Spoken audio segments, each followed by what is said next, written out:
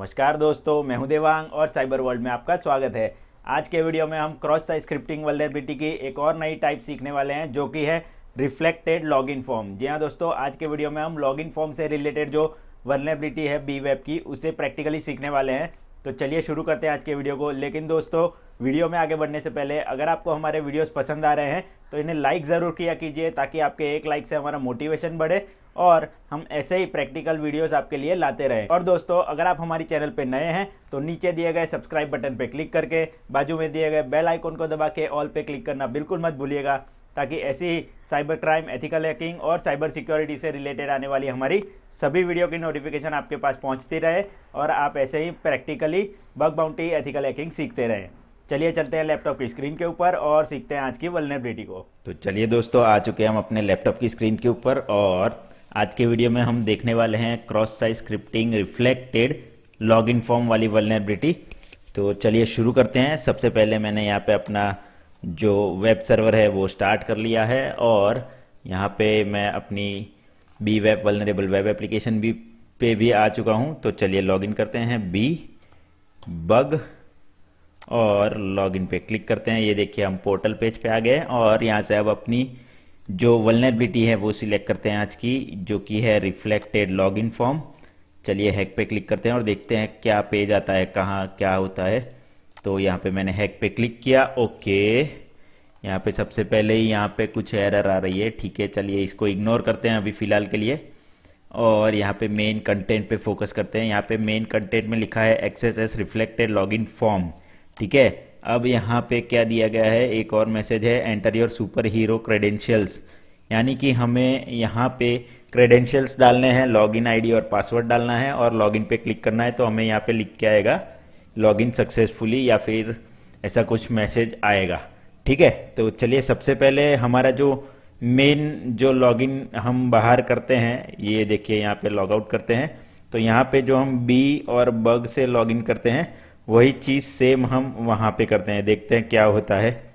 ठीक है one by one step wise आगे बढ़ते हैं और समझते हैं वहाँ पे कैसे वलनेबिलिटी फाइंड करनी है। तो यहाँ पे चलिए बी और बग डाल के देखते हैं। बी और बग ठीक है लॉगिन पे क्लिक करते हैं। यहाँ पे देखिए, यहाँ पे मैसेज आया इनवैलिड क्रेडेंशियल मतलब हमारा जो यहाँ पे यूज़र नेम और पासवर्ड है, वो एक्सेप्ट नहीं हुआ है। ठीक है तो चलिए अब और कुछ इनपुट डाल के देखते हैं। मान लीजिए एडमिन एडमिन डाल के देखते हैं क्या रिज़ल्ट आता है, फिर से देखते हैं। तो एडमिन एडमिन में वहाँ पे भी हमें इनवैलिड क्रेडेंशियल आ रहा है, ठीक है। तो अब यहाँ पे क्वेश्चन आता है कि इस लॉगिन फॉर्म के अंदर हम एक्सरसाइज कहाँ ढूंढे? यहाँ पे तो हमें एक मिल रही है दो इनपुट फील्ड्स और ये बटन। तो इनपुट फ़ील्ड है तो सबसे पहले हम इनपुट फ़ील्ड में जो हमारा इनपुट है वो ट्राई करेंगे। तो हमने जो इनपुट डाला वो तो हमारा कहीं पे भी, ये देखिए, पेज में पहले रिफ्लेक्टेड जो भी हमने वीडियोस ट्राई की है जो भी आ, अलग अलग वलनेबिलिटीज रिफ्लेक्टेड कैटेगरी में ट्राई की उन सारी कैटेगरीज में ये क्या होता था कि हम जो इनपुट डाल रहे थे वो यहाँ पे रिफ्लेक्ट होके आ रहा था कुछ भी जो भी हम डाल रहे थे इनपुट फ़ील्ड में। अब यहाँ पे क्या हो रहा है कि ये रिफ्लेक्ट होके नहीं आ रहा है।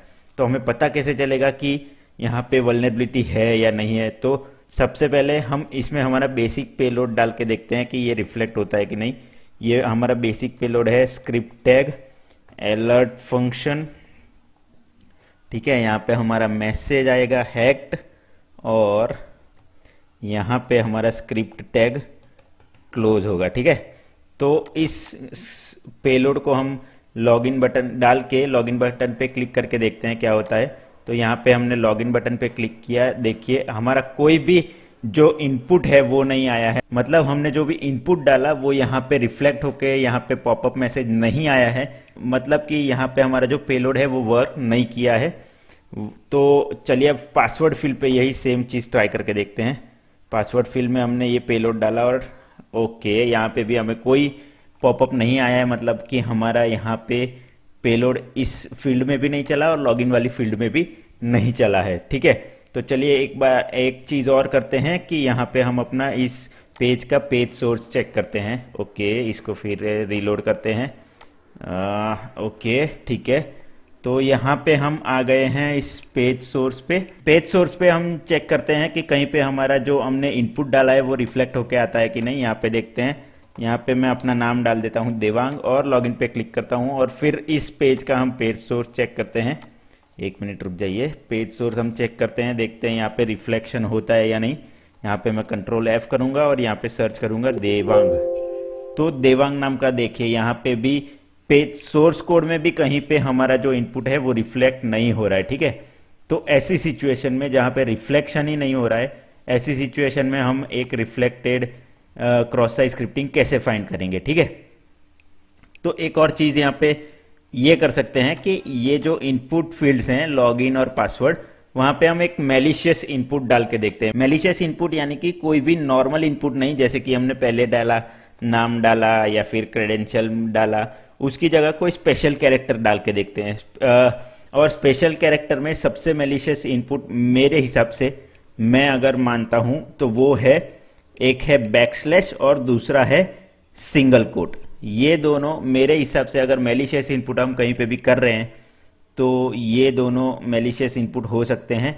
बाकी और भी हो सकते हैं, आप एक्सक्लेमेशन मार्क भी डाल सकते हैं एट द रेट भी डाल सकते हैं हैश भी डाल सकते हैं डॉलर डॉलर भी डाल सकते हैं, ठीक है? परसेंटेज डाल सकते हैं एंड परसेंट डाल सकते हैं। ये सारे भी मेलिशियस इनपुट माने जा सकते हैं बट सबसे डेंजरस मेरी नज़र में है वो है सिंगल कोट और बैकस्लैश तो चलिए, हम यहाँ पे मेलिशियस इनपुट सिंगल कोट डाल के देखते हैं क्या होता है। तो यहाँ पे मैंने सिंगल कोट एंटर कर लिया और अब यहाँ पे मैं लॉगिन पे क्लिक करता हूँ, देखते हैं क्या आउटपुट आता है, ठीक है? तो ये लॉगिन पे मैंने क्लिक कर दिया। ओके ये देखिए, यहाँ पे जैसे ही हमने मेलिशियस इनपुट डाला तो नीचे हमें एक एरर मिल गई है। एरर में क्या लिखा है? You have an error in SQL syntax check check the manually that corresponds to your MySQL server. Version for the right syntax to use near double quotation and password equal to double quotation at line one ठीक है? तो इस error से हमें clearly पता चल रहा है एसक्यूएल सिंटेक्स में एरर है माई एसक्यूएल में एरर है मतलब कि यहाँ पे एसक्यूएल इंजेक्शन की एरर है। यहाँ पे हम एसक्यूएल इंजेक्शन परफॉर्म कर सकते हैं। एसक्यूएल इंजेक्शन वलनेबिलिटी यहाँ पे मौजूद है। ठीक है? कौन सी फ़ील्ड में? तो दोनों में लॉगिन में और पासवर्ड में भी एसक्यूएल इंजेक्शन वलनेबिलिटी मौजूद है। तो अब हमें क्या करना है? यहाँ पे हमें एक चीज़ पता चल गई कि यहाँ पे एसक्यूएल इंजेक्शन वलनेबिलिटी है, ठीक है? बट यहाँ पे अगर हम एसक्यूएल इंजेक्शन ट्राई करेंगे तो हमें कोई डेटा तो शायद नहीं मिलेगा क्योंकि यहाँ पे सिर्फ़ मैसेजेस ही आ रहे हैं, ठीक है? तो डेटा नहीं मिलेगा और हमें दूसरी चीज़ की यहाँ पे फाइंड करना है एक्सेस ठीक है? क्रॉस साइज़ स्क्रिप्टिंग फाइंड करना है। तो हम क्या करेंगे? कि इस एसक्यूएल की एरर को यूज़ करके हम एक्सएसएस का पेलोड डालेंगे और सक्सेसफुली अटैक परफॉर्म करेंगे, ठीक है? तो यहाँ पे सबसे पहले हम चलिए, जो एसक्यूएल की सिंटेक्स है उसे समझते हैं और फिर पेलोड बिल्ड करते हैं एक्सएसएस के लिए, इस पेज के लिए। तो चलिए, सबसे पहले हम मैं यहाँ पे आ गया नोटपैड पे और आपको समझाता हूँ कि ये एरर किस वजह से आ रही है और हम कैसे इसको पेलोड बिल्ड कर सकते हैं। तो यहाँ पे सबसे पहले सिंटेक्स जो हमारा होगा, वो क्या होगा कि सिलेक्ट यूज़र नेम ठीक है? यूज़र नेम जो भी उन्होंने पैरामीटर का नाम दिया होगा यू name equals to x y z, जो भी हम इनपुट डालेंगे वो, and password equals to a b c from from जो उनका टेबल का नाम होगा, ठीक है? मान लीजिए टेबल का नाम है यूज़र्स। यूज़र्स टेबल का नाम होगा और यहाँ पे सेमिकोलन ठीक है? तो ये उनका बैकएंड में क्वेरी जा रहा होगा ऐसा जब हम यहाँ पे अपना यूज़र नेम और पासवर्ड डाल के लॉगिन पे क्लिक करेंगे, ठीक है? ये जो क्वेरी है वो एक्चुअल में रन होता होगा। तो अब हमने क्या कर दिया कि इस क्वेरी को रन होने से पहले हमने एक मेलिशियस इनपुट डाल दिया जिसकी वजह से ये क्वेरी खत्म हो। उससे पहले हमने एक मेलिशियस इनपुट डाल दिया जिसकी वजह से एरर आ गई और एरर आ गई। इसकी वजह से हमारा यहाँ पे जो एरर है, वो जनरेट हुआ और हमें यहाँ पे कोई भी एग्जीक्यूशन यानी कि कोई भी आउटपुट नहीं मिला। ठीक है? तो अब इस क्वेरी को यूज़ करके यानी कि इस सिचुएशन को यूज़ करके हम कैसे पेलोड बिल्ड करते हैं? तो सबसे पहले हम जो हमारा एक्सएसएस का बेसिक पेलोड है, वो समझ लेते हैं क्या है। एक्सएसएस का बेसिक पेलोड सबको पता ही होगा। स्क्रिप्ट टैग फिर अलर्ट फ़ंक्शन आता है। अलर्ट फ़ंक्शन के अंदर हम हमारा मैसेज डालेंगे, जो भी हमें पॉपअप करवाना है हैकिंग करके पॉपअप करवाते हैं, और यहाँ पे हम हमारी स्क्रिप्ट टैग को क्लोज कर देंगे, ठीक है? तो ये हमारा एक्सेस का बेसिक पेलोड हो गया। अब, सबसे पहले हमारी यहाँ पे क्वेरी जा रही है तो क्वेरी को हमें क्लोज करना पड़ेगा। इस क्वेरी को खत्म करना पड़ेगा, फिर हमारा ये पेलोड एग्जीक्यूट हो, ऐसा करना पड़ेगा, ठीक है? तो इस क्वेरी को खत्म करने के लिए सबसे पहले हमने इसे ब्रेक करने के लिए क्या किया? तो सिंगल कोट डाला, ठीक है? सिंगल कोट डाला, इसकी वजह से ये जो जो बेसिक क्वेरी जिस, जो ओरिजिनल क्वेरी थी, जा रही थी, उसे हमने ब्रेक कर दिया, ठीक है?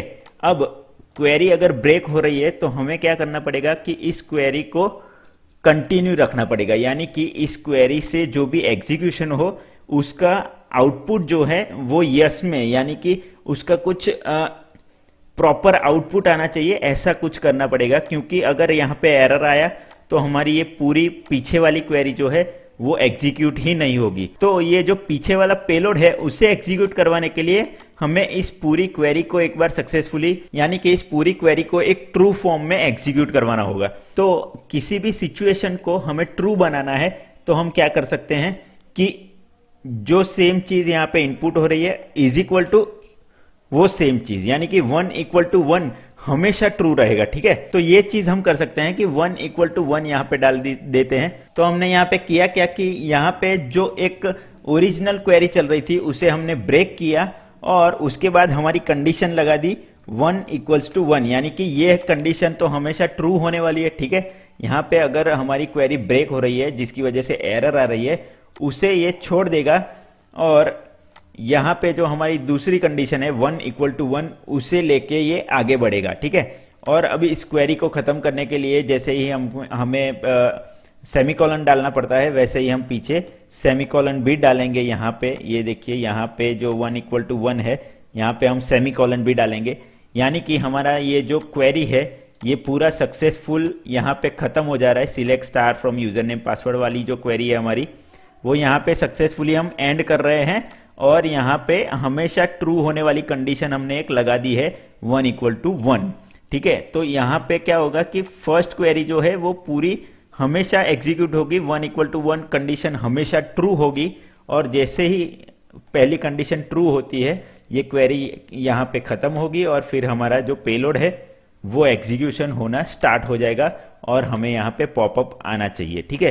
तो चलिए इस पेलोड को, ये जो पेलोड हमने बिल्ड किया है, इसे किसी एक इनपुट फ़ील्ड में डाल के देखते हैं कि आउटपुट आता है या नहीं आता है। तो ये लॉगिन फॉर्म और यहाँ पे लॉगिन फ़ील्ड में मैं इसे पेस्ट कर देता हूँ। ये देखिए, मैंने यहाँ पे इस क्वेरी को पेस्ट कर दिया है। Single quote one equals to one semicolon और फिर स्क्रिप्ट टैग वाला पेलोड ठीक है? तो चलिए अभी लॉगिन पे क्लिक करते हैं और देखते हैं हमारा पॉपअप आता है या नहीं आता है, ठीक है? तो ये लॉगिन पे क्लिक किया और ये देखिए यहाँ पे सक्सेसफुली हमें पॉपअप मिल चुका है। यानी कि हमारा ये जो पेलोड है, वो सक्सेसफुल एग्जीक्यूट कर चुका है। हमने क्या किया? जो एसक्यूएल की क्वेरी थी, वहाँ पे हमने सबसे पहले इनपुट फ़ील्ड में ढूंढा कि एसक्यूएल इंजेक्शन है या नहीं है। एसक्यूएल इंजेक्शन मिला तो हमने क्या किया कि एसक्यूएल की क्वेरी को हमने सबसे पहले एक कंडीशन दे दी कि वो हमेशा ट्रू ही रहे। वन इक्वल्स टू वन हमने कंडीशन दी मतलब ट्रू ही रहेगी, ये कंडीशन हमेशा ही ट्रू रहेगी। एक वन इक्वल्स टू हमेशा वन होने ही वाला है। तो ये क्या होगा कि इस कंडीशन की वजह से इतना जो पार्ट है, वो सक्सेसफुली एग्जीक्यूट होता ही रहेगा हर बार। और जैसे ही ये सक्सेसफुल एग्जीक्यूशन खत्म होगा, हमारा पेलोड यहाँ पे जो हमने एक बेसिक पेलोड डाला है, वो भी यहाँ पे एग्जीक्यूशन होना चालू हो जाएगा और जैसे ही वो एग्जीक्यूट होगा हमें यहाँ पे पॉपअप मैसेज मिल जाएगा और हमारा cross site scripting vulnerability successfully यहाँ पे फाइंड हो जाएगा। तो ऐसी सिचुएशंस में जहाँ पे आप कहीं पे रियल वर्ल्ड में फंसते हैं कि वहाँ पे आपको लॉगिन फ़ील्ड ही दिखी है या फिर कोई ऐसी इनपुट फ़ील्ड दिखी है जहाँ पे आप कोई भी इनपुट डाल रहे हो, वो रिफ्लेक्ट होके नहीं आ रहा है बट फिर भी वहाँ पे एक चांस हो सकता है कि क्रॉस साइज़ स्क्रिप्टिंग वलनेबिलिटी हो। तो ऐसी सिचुएशन में आप ये कर सकते हैं कि आप सबसे पहले एसक्यूएल इंजेक्शन या फिर और कोई दूसरी जो वलनेबिलिटी है, उसे फाइंड कर सकते हैं या और उसकी मदद से उस दूसरी वलनेबिलिटी को लेके आप आगे बढ़ के क्रॉस साइज़ स्क्रिप्टिंग भी फाइंड कर सकते हैं। ऐसी सिचुएशन में आप इन ट्रिक्स को यूज़ कर सकते हैं, यानी कि एक से ज़्यादा वलनेबिलिटीज को मल्टीप्लाई करके एक साथ बाइंड करके, एक पेलोड बना के फिर उसमें आप एग्जीक्यूशन करवा के ऐसी ज़्यादा से ज़्यादा डेंजरस वलनेबिलिटीज भी फाइंड कर सकते हैं। अब यहाँ पे दो अलग अलग सिचुएशन हो गई। इस वलनेबिलिटी को, यानी कि इस पेज में जो वलनेबिलिटी है, उसे आप एसक्यूएल इंजेक्शन वलनेबिलिटी भी रिपोर्ट कर सकते हैं और उसके साथ साथ एसक्यूएल इंजेक्शन के साथ साथ आप अगर यहाँ पे पेलोड जो हमने सक्सेसफुली एग्जीक्यूट किया, उस पेलोड को एग्जीक्यूट करवा के आप एक्सक्यूएल इंजेक्शन और एक्सेसेस दोनों को मिला के अगर आप रिपोर्ट करोगे तो आपका बग P1 बग तक भी जा सकता है और आपको P1 लेवल की बग की बाउंटी भी मिल सकती है। तो ऐसी चीज़ें भी आप कर सकते हैं। आपको अगर ऐसी सिचुएशंस में कहीं फेस करनी पड़े और कहीं पे आपको एक से ज़्यादा वलनेबिलिटीज़ को मिक्सअप करके एक पेलोड बनाना पड़े और उसे एग्जीक्यूट करवा के एक वलनेबिलिटी फाइंड करनी पड़े तो ये सारी चीज़ें आप ट्रिक या फिर ये सारी चीज़ें आप ट्राई कर सकते हैं। तो आई होप दोस्तों कि आपको मैंने आज जो समझा है वो समझ में आ गया होगा। बहुत ही ईजी चीज़ है। हमने सिर्फ़ इसमें यही किया है कि यहाँ पे सबसे पहले जो नॉर्मल इनपुट है, उसके थोड़ा हट के हमने सोचा कि यहाँ पे कोई एब नॉर्मल इनपुट अगर हम डालते हैं तो उसका क्या होता है? वो प्रॉपरली एग्जीक्यूट होता है या नहीं होता है? और हमने यहाँ पे देखा कि ये जो हमने एबनॉर्मल इनपुट डाला, वो प्रॉपरली एग्जीक्यूट नहीं हो रहा है। तो उसी का इस्तेमाल करके हमने हमारा एक और पेलोड बनाया, ठीक है? और पेलोड बनाने के बाद हमने उसे एग्जीक्यूट करवाया। तो सिंपली हमारा यहाँ पे दो वलनेबिलिटीज हमने सक्सेसफुली फाइंड करी, जो कि फ़र्स्ट है एसक्यूएल इंजेक्शन और दूसरी है क्रॉस साइज़ स्क्रिप्टिंग ठीक है? तो ऐसी चीज़ें आप ट्राई कर सकते हैं रियल वर्ल्ड में भी और वहाँ पे आपको ऐसे सीनारियोज भी मिल जाएँगे। जब आप रियल वर्ल्ड में ट्राई करने जाओगे तो ऐसी चीज़ें ट्राई करके आप बहुत ही अच्छी बाउंटी पा सकते हो और अच्छे आप रिसर्चर भी बन सकते हो और ऐसे ज़्यादा से ज़्यादा वलनेबिलिटीज़ फाइंड कर सकते हो। तो दोस्तों, आज के वीडियो के लिए इतना ही रखते हैं। मिलते हैं नेक्स्ट वीडियो में एक और नए प्रैक्टिकल बेस्ड टॉपिक के साथ। तो दोस्तों, इसी के साथ आज के वीडियो में बस इतना ही। आशा करता हूँ कि आपको आज की वलनेबिलिटी प्रैक्टिकली सारी समझ में आ गई होगी। तो दोस्तों, अगर आपको हमारा ये वीडियो पसंद आया है तो इसे लाइक और शेयर ज़रूर कर दीजिएगा, ताकि ज़्यादा से ज़्यादा लोगों तक हमारा ये वीडियो पहुँचे और वो लोग भी practically ethical hacking bug bounty सीख सके।